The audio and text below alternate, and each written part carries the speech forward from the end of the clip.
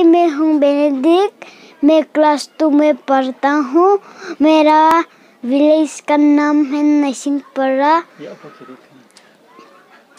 मैं नरसिंहपरा में रहता हूँ। मैं क्लास टू में पढ़ता हूँ। एसएससी स्कूल से तो मैं कहानी के बारे में आप बताऊँगा। एक खरगोश और कछुआ थी।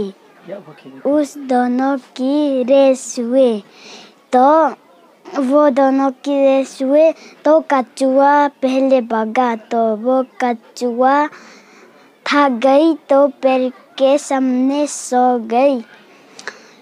तो कछुआ भी उस तक पहुँच गई तो कछुआ भी पहुँच गया। तो उस खरगोश को कुछ नहीं कहकर आगे बढ़ा रेस में पहुँचा तो वो जीत गया तो खरगोश भी उड़ गई तो वह रेस में पहुँचा तो कछुआ जीत गई तो खरगोश हारा।